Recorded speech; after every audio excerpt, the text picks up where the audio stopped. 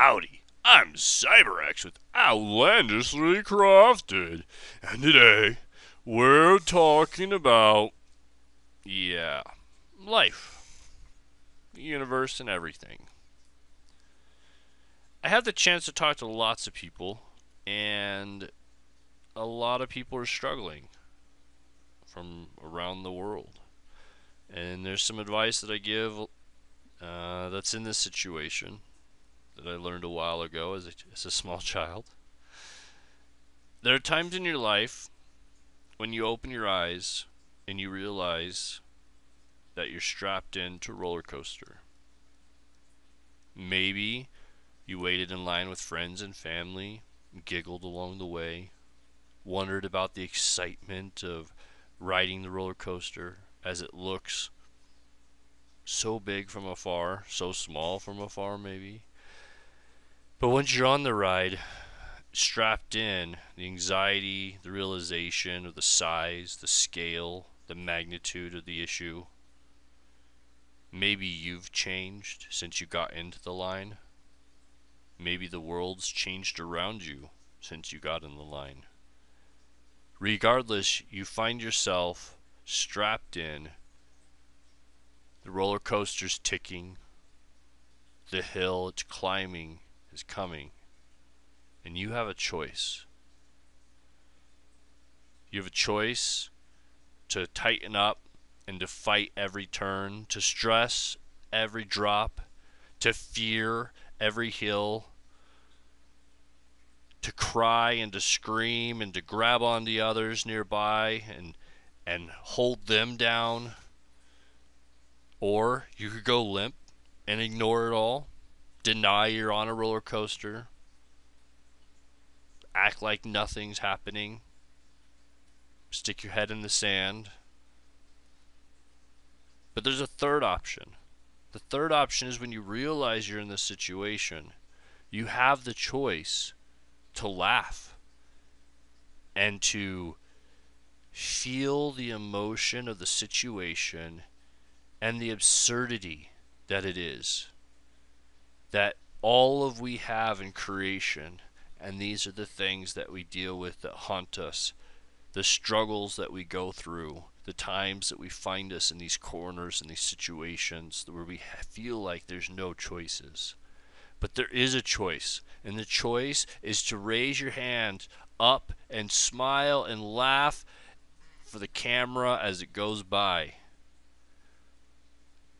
to take that time with your friends and your family and to enjoy the seconds that you're in because they pass by and not everybody makes it off this roller coaster.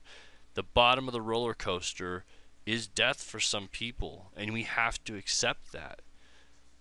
That is the roller coaster. That is how this goes. And sometimes we can just enjoy life and everything's great and everything's wonderful. But those times when you find yourself in that situation, and no matter how much you cry, no matter how much you scream, and no matter how much you yell, they're not going to stop the ride. So, what are you going to do? Are you going to smile for the camera so when you get off the ride, the picture looks like you had a great time and you made the best of it? Or when that picture comes up, are you going to have pure terror on your face? Because the ride ends one way or another. It always ends. And and how are you going to be remembered when it does? How are you going to remember it when it does? Are you going to be aching and in pain and stressful and hating life because you fought every turn? Or are you going to realize that this is the roller coaster and that you have to enjoy it and that you have to lean into it. You have to lean with the curves and you have to lean forward and back with the ups and downs. Because if you don't, if you stay rigid and you just tighten up, you're going to struggle and you're going to hurt and there's going to be pain and it's not going to make sense. And if you just go limp and you just be a body weight for your friends and your family and all of those around you because you ignore the situation, you ignore what's happening, that doesn't help anybody. Nobody wants to be around a limp log, especially when you're in the hard times, especially when you're in the roller coasters.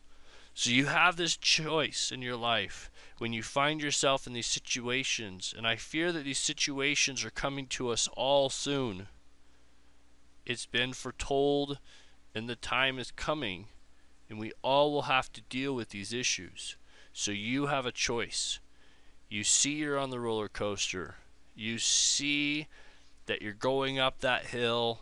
You see that the tracks are going. You hear it and you're getting to the top and you know on the other side is that camera and you're going to get a freeze frame of this adventure in your life and this time in your life and what is that going to look like in a few years when you get off this roller coaster and you look back at that picture what's it going to show you about who you are and how you deal with these situations are you going to enjoy it for what it is, for the absurdity, and laugh it off? Or are you going to go limp and make your family and friends carry you through it? Are you going to fight everybody around you and yell and scream and not sleep at night and be sore and struggle? Maybe drink it off? It's your choice. We're all on the roller coaster together. And you get to decide how you ride it out.